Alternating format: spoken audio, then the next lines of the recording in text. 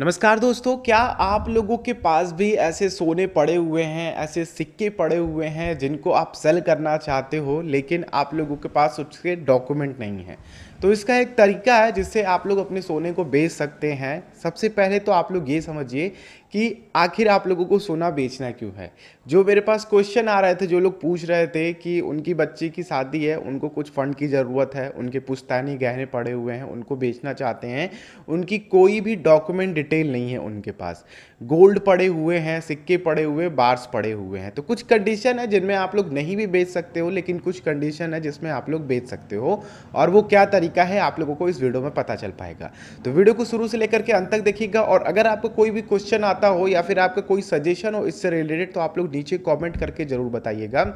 तो देखिए सोना को बेचने से पहले आपको ये ध्यान रखना होगा उसकी प्योरिटी का।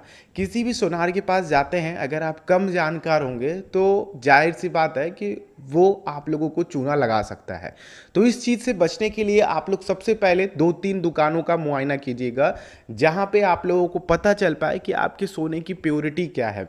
प्योरिटी को मापने के एक तरीका है 24 कैरेट का होता है 22 कैरेट का होता है 20 कैरेट का होता है। 24 कैरेट वाला सबसे शुद्ध सोना होता है, ठीक है? 22 कैरेट का उसमें कुछ दूसरे मेटल मिला दिए जाते हैं, जैसे कि चांदी वगैरह मिला करके उसको थोड़ा ठोस किया जाता है, जिससे कि उसकी डिज़ाइनिंग सही करी जाए। अगर प्योर सोना की बात करते हैं तो प्योर सोना काफ़ी लचीला होता है, ठीक है? उसको गलाना काफ़ी आसान होता है। तो इस तरह से आप लोगों की प्योरिटी का पता चल पाता है कि आपका सोना कितना प्योर है, उसी हिसाब से आपकी मार्केट वैल्यू भी डिसाइड होती है। जितने कम कैरेट का सोना होगा, उतना सस्ता आप लोगों का जाएगा। तो 24 कैरेट की प्राइस अगर हम लोग ट्रेडिंग प्राइस की बात करें तो ऑलमोस्ट फिफ्टी के आसपास चल रहा है। आप लोग अपने सोनार से पता कीजिएगा, अगर आप लोग बेचना चाहते हैं।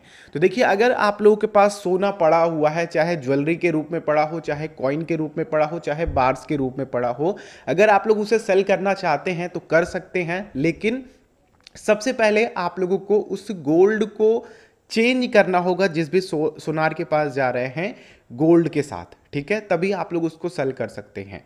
अब वो सोनार आप लोगों की प्योरिटी चेक करेगा, आपके सामने सोने को गलाए, ओलाएगा, देखेगा कि कितना प्योर सोना है आप लोगों का। फिर उसके हिसाब से आप लोगों को वो क्वाइन या फिर बार्स के रूप में सोना देगा उसी वैल्यू का। ठीक है? अब उसके बाद आप उसको सेल कर पाएँगे। डायरेक्टली आप लोग ये सोच रहे हो कि आपके पास पुस्तैनी जेवर पड़े हुए हैं या फिर कॉइन्स बार्स वगैरह पड़े हुए हैं और उसके डॉक्यूमेंट्स नहीं है आपके पास और आप जा करके उसको डायरेक्ट बेच करके पैसे क्रेडिट कर सको तो ये पॉसिबल नहीं है। ठीक है? आप लोगों को सबसे पहले उसे गला करके उसकी प्योरिटी चेक करी जाएगी, फिर उसके बदले आपको सोना दिया जाएगा क्वाइन या फिर बार के रूप में या फिर ज्वेलरी वगैरह जो भी आप लोग बनवाना चाहते हो, उसके रूप में फिर उसके बाद आप उसको सेल करके उनसे पैसा ले सकते हो। अब यहाँ पे एक चीज़ और ध्यान रखिएगा कि अगर आपने क्वाइन या फिर बार्स बैंक वगैरह से खरीदा हुआ है बैंक से बाई किया हुआ है तो वो नहीं हो पाएगा, ठीक है? वो चेंज नहीं हो पाएगा, उसकी सेलिंग पॉसिबल नहीं है अगर आपके पास डॉक्यूमेंट नहीं है। आपको बैंक में जा कर के विज़िट करना पड़ेगा और उनको बताना होगा और आपको बिल अपना निकलवाना पड़ेगा, वहाँ से निकलवा करके उन्हीं को सेल कर सकते हैं आप। नेक्स्ट इज़ दोस्तों, कि आप लोग हमेशा ध्यान रखिएगा कि रजिस्टर्ड दुकान वालों से, ठीक है, आपके ज़िले में, आपके शहर में एक रजिस्टर्ड दुकान वाले, उनका एक पूरा कह सकते हैं कि गुट होता है और एक जगह जा कर के एक व्यापार मंडल में उनका रजिस्ट्रेशन होता है। तो ऐसी दुकानों से ही आप लोग अपने सोने की लेन देन कीजिएगा। किसी भी फर्जी दुकान से, फर्जी सुनार से आप लोग सोने की लेन देन मत कीजिएगा, वरना वहाँ पर आप लोगों को जो बिल होगी, वो प्योरिटी बिल नहीं मिलेगी। फिर आप लोगों को फ्यूचर में चल करके अगर बाई चांस इनकम टैक्स की रेट वगैरह पड़ती है तो आप लोगों को वहाँ पे दिक्कत हो सकती है। और यहाँ पे जो आप लोगों को बिल मिलेगा, जो भी आप लोग गोल्ड से गोल्ड एक्सचेंज करेंगे, उसका बिल जनरेट होकर के आप लोगों को मिलेगा। वो बिल आप लोग अपने पास रखिएगा ज़रूर, जिससे कि आपको फ्यूचर में अगर जो भी आप डॉक्यूमेंट्स देंगे क्योंकि अगर आप सोने को प्योर अपना यू you नो know, करना चाहते हैं एक्सचेंज करेंगे तो आपको अपने डॉक्यूमेंट्स भी उनको देने पड़ेंगे। अगर रजिस्टर्ड दुकान वाला होगा तो आप लोगों से ये मांगेगा। अगर रजिस्टर्ड दुकान वाला नहीं होगा तो ऐसे ही आप लोगों का दे होके ऐसे ही फर्जी काम करके कर देगा कि चलो भैया हमें कमाई करनी है। तो इस तरह की भी पॉसिबिलिटी है और इस तरह की चीज़ें होती भी हैं लोग इन सब चीज़ों से बचते हैं। लेकिन बाद में अगर वो सुनार पकड़ा जाता है किसी भी फ्रॉड में अगर आप लोगों का नाम उनके सामने आता है तो आप लोग फंसोगे वहाँ पे। इसलिए आप लोग बिल्कुल साफ़ सीधा और साफ़ सुथरा काम कीजिएगा। तो आई होप दोस्तों आप लोग को ये क्लियर हो गया कि आप लोग किस तरह से जिनके डॉक्यूमेंट्स नहीं हैं आप लोगों के पास, वो सोना बेच सकते हैं और इमरजेंसी में आप लोग उनको यूज़ कर सकते हैं। क्योंकि इस समय सोने की प्राइस भी ठीक ठाक है, अगर बेचते हो तो सही प्राइस भी आप लोगों को मिल सकती है।